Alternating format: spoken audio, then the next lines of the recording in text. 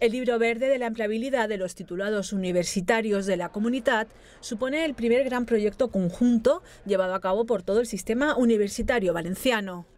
El presidente Alberto Fabra ha asistido a la presentación de este proyecto.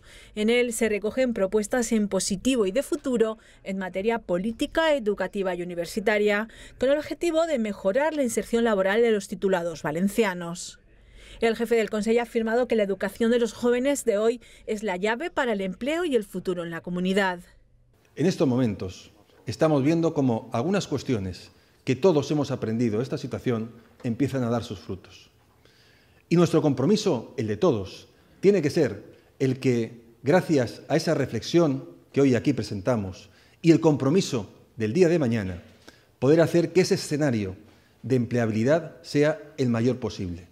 Alberto Fabra ha señalado que la mejora de las capacidades de los titulados es la mejor forma de responder a las necesidades del tejido productivo de nuestra autonomía. Por este motivo, el libro verde de la empleabilidad será una herramienta clave para orientar profesionalmente a todos los estudiantes desde secundaria para que sepan escoger su formación de futuro que se adapte a las necesidades del mercado laboral.